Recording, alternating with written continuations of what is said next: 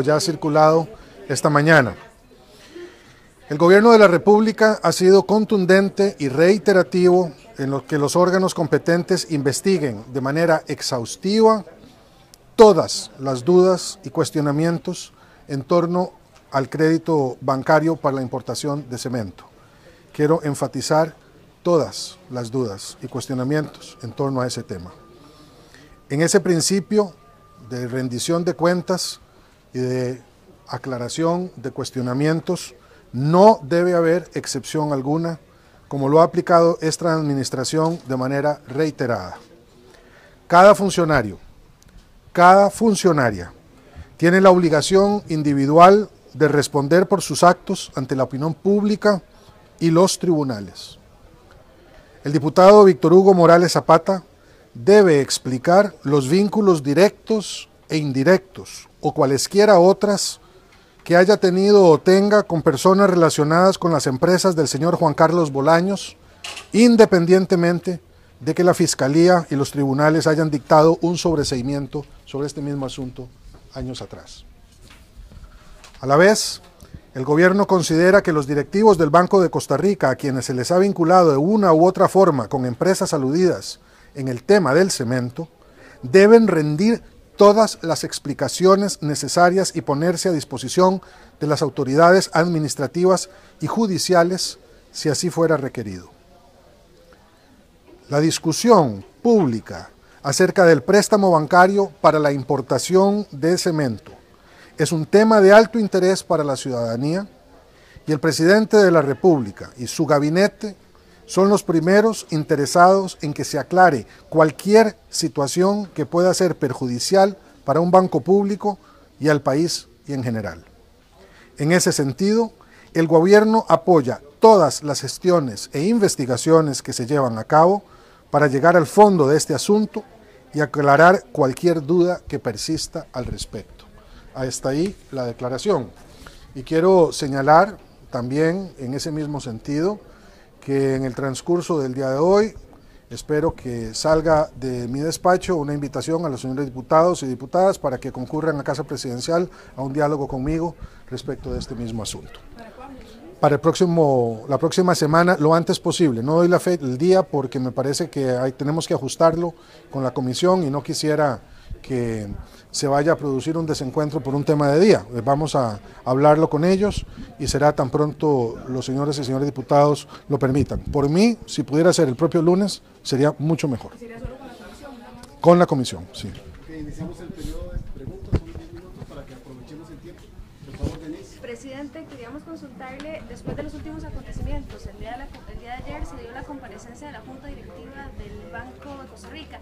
Viendo la comparecencia y lo que compareció también don Juan Carlos Bolaños, ¿pedirá usted o ha pensado en pedirle a la Junta Directiva del BCR que renuncien a su puesto? ¿Les va a pedir usted también en alguna medida cuentas a los representantes del de, eh, Estado? Bueno, rendir, pedir cuentas estoy pidiéndolas y creo que la investigación queda clara del comunicado deben hacerla los órganos competentes y las comisiones que ya, ya existen. En esto no debe haber eh, versiones encontradas ni más espacios que se abran. creo que todos los que ya los que existen son, son suficientes, tanto los que eh, ya están eh, integrados en la Asamblea Legislativa como también en el Ministerio Público. Así es que me parece que es allí donde tienen que darse las explicaciones. Respecto a posibles medidas que podamos anunciar en un sentido u otro, me parece que no es el momento para especular. Todas las posibilidades están abiertas y vamos a eh, esperar para que eh, puedan madurarse algunas de estas respuestas, podamos analizarlas con calma y será entonces en ese marco que tomemos las decisiones del caso. Pero todas las opciones están abiertas.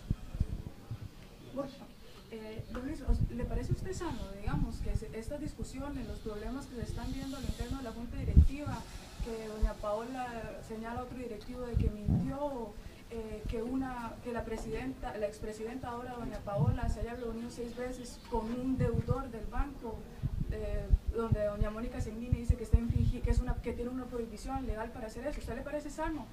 que esto ocurra para el banco, para la credibilidad, para lo que significa, digamos, eso del sistema bancario y que va a pedir explicaciones o qué decisiones espera que se maduren. No, vamos a ver, las, las explicaciones están pedidas, eh, las estoy exigiendo en el caso del banco y en el caso del diputado Morales Zapata. No creo que ya eh, que, que eso debe quedar claro, no estoy eh, haciendo, evadiendo esa obligación que tienen los funcionarios públicos sin excepción alguna. Debo decir respecto del banco, para que no queden dudas, que el banco está con sus números muy saludables. Difícilmente uno podría decir que el banco ha estado mejor antes que esto. O sea, lo digo para que no haya ninguna duda respecto de la solvencia del banco financiera, del Banco de Costa Rica, porque estas cosas a veces pueden llevar a confusión. Y en ese sentido, quisiera que haya total tranquilidad en los clientes del banco respecto de sus, de sus números. Es decir, en, en, nada de las cosas que puedan eh, decirse o se hayan dicho en el marco de la comparecencia o de mis declaraciones deben eh, interpretarse como una preocupación por la salud financiera del banco como institución, institución financiera y bancaria que está sometida a todos los controles de la SUGEF. Ahora, usted me dice si me parece sano y me parece eh, adecuado que haya una situación como la que hay en la Junta Directiva. No, evidentemente no me lo parece. Ya lo habíamos señalado en su momento cuando fuimos eh, invitados por la SUGEF, eh, por el superintendente, a eh, dialogar con la Junta del Banco de Costa Rica, cosa que hicimos puntualmente en Casa Presidencial hace dos semanas, eh, precisamente para evitar que un tema de gobernanza de la Junta Directiva en la Junta Directiva del Banco pudiese afectar el excelente prestigio del Banco de Costa Rica. Entonces, no, no me siento satisfecho, espero que este tipo de, de, circunstancias, gracias a la investigación que se realice, puedan aclararse. Voy a darle la palabra a don Sergio respecto de los, las veces que se hayan podido reunir eh, una o varios directores con diferentes clientes del banco, eh, que me parece amerita una respuesta también técnica. Sí, en, este, en ese punto es nuestra posición que hay temas que ya no son políticos, que son meramente técnicos.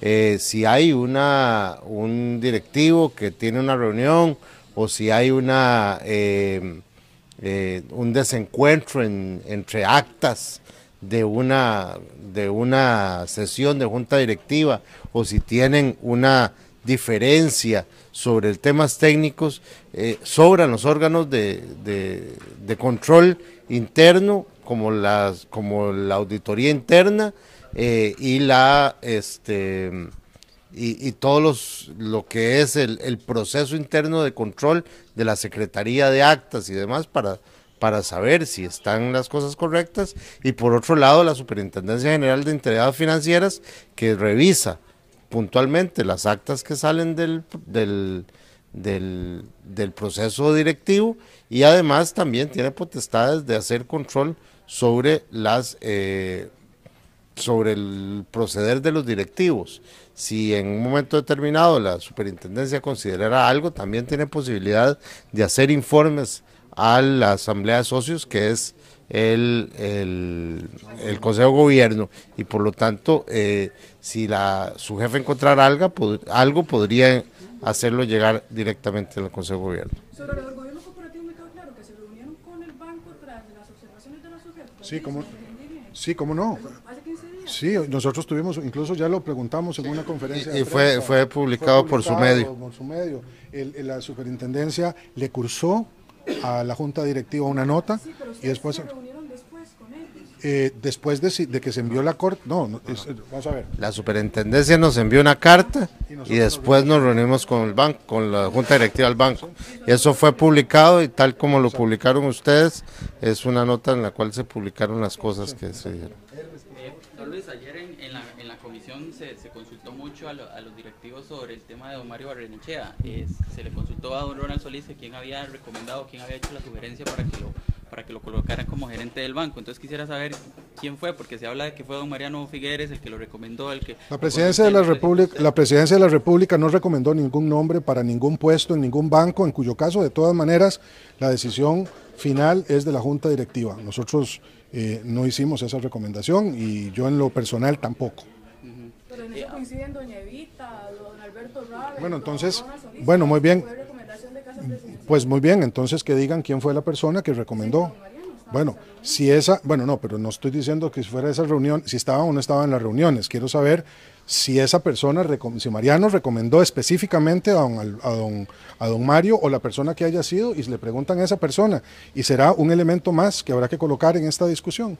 Eh, queremos claridad también respecto de ese tema y yo quisiera saber si habló en nombre propio, si habló en nombre de la Presidencia de la República, si lo hizo a título personal. En fin, aquí en esto yo quiero absoluta claridad de quienes participaron en esas reuniones y recibieron esa información. Yo no recomendé ni le pedí a nadie que recomendara a un nombre específico en esa reunión. Perdón, perdón es que nada más, hoy el Banco Nacional eh, tomó la decisión de romper relaciones con don Juan Carlos Bolaños por, por problemas o graves, eh, por hechos graves dentro del crédito. Entonces quería conocer esa reacción de que el banco tomara esa decisión. Sí, este, por lo que leí en, la, en una nota de prensa, no tengo información de primera mano y también la nota de prensa es, importante, dice que no revela la fuente de dónde toma la información, eh, lo que significa que todo es especulación.